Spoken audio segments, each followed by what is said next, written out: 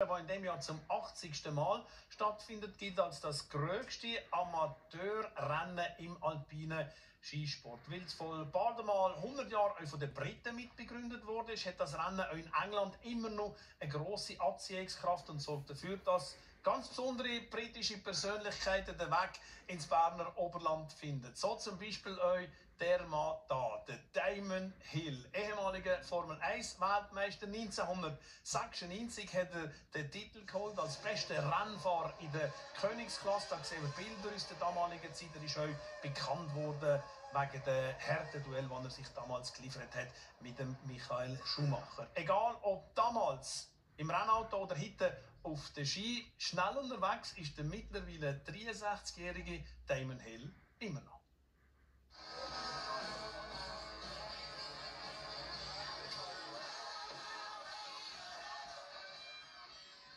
Einstimmen auf den Highway to Hell für Damon Hill. 7 Uhr morgens in der ersten Gondel hoch zum Schildhorn. Der Respekt vor der neuneinhalb Kilometer langen, pickelharten Abfahrt, auch beim Formel 1 gestellten Briten spürbar. Ich hätte nie gedacht, dass mich ACDC entspannt, aber das war eine gute Idee von der Seilbahnführerin. Sie war sehr lustig und das hat uns alle etwas beruhigt. Noch einmal durchatmen im Drehrestaurant auf 3000 Meter über Meer. Zeit für den einstigen Weltmeister, sich gemeinsam mit Freund Armin Momen die Rennstrategie zurechtzulegen.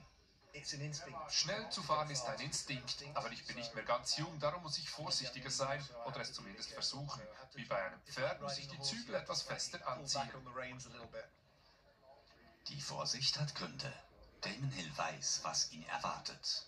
Er ist nach 2020 zum zweiten Mal am Inferno-Rennen in Mürren mit dabei. Unterwegs zum Start unterhalb des Schildhorns. Im Winter fährt der 63-Jährige regelmäßig Ski, auch gerne schnell.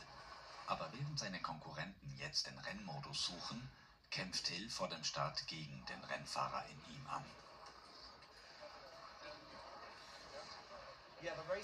Der Rennfahrer ist in diesem Rennen der Teufel, das ist das Problem.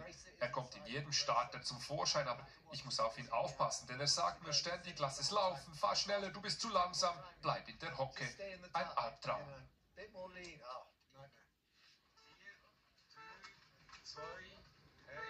Kurz vor 9 Uhr der Start. 1200 Höhenmeter warten bis ins Ziel.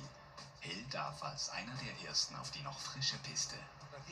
Ich glaube, einige Menschen fahren gerne schnell, weil die Welt bei hohem Tempo mehr Sinn macht. Ich genieße den Flow und wenn ich richtig Ski fahre, spüre ich diesen.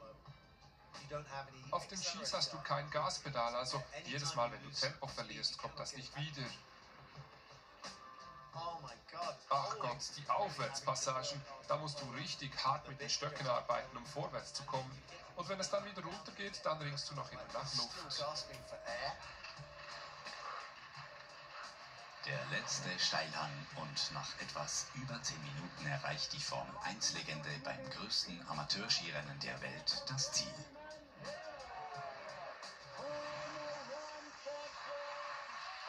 Alles gut, ich bin am Leben, nichts gebrochen und ich habe das Ziel erreicht. Früher stets auf der Jagd nach Tausendstel Sekunden. Am Inferno-Rennen hat Damon Hill Rennfahrer ganz offensichtlich erfolgreich gezähmt. Ich habe gar nicht auf die Zeit geschaut, als ich über die Ziellinie kam.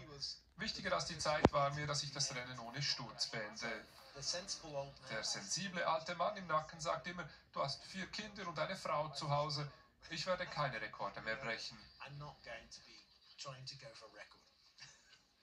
So verliert Damon Hill etwas mehr als vier Minuten auf die Siegerzeit. Er wird von seinen Landsleuten dennoch empfangen wie ein Champion, standesgemäß mit Champagner. Nur rumgespritzt wird heute nicht mehr. Der gesellige Teil am teuflisch langen Rennen fast ebenso wichtig wie die Abfahrt selber. Es hat großen Spaß gemacht und gibt den Menschen eine Herausforderung. Wir alle lieben das. Jeder kommt ins Ziel und hat seine ganz eigene Befriedigung gefunden. Das gilt auch für ihn. Ob er ein weiteres Mal ans Inferno-Rennen zurückkehrt, lässt er offen, weil auch ein Champion nicht jünger wird. Damon Hill, vom Rennfahrer zum Genießer.